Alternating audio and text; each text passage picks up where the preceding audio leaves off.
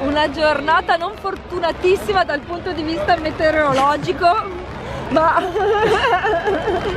ma, diciamo che chi fa sport non molla mai per cui siamo ancora qui nonostante la pioggia in Piazza Unità e ci nutriamo dell'entusiasmo di questi bambini che sono veramente felici di provare tante cose, tante cose nuove. Anche se qualche bimbo devo dire io l'avevo già visto a fare scherma quindi questo mi fa ancora più piacere perché sono tornati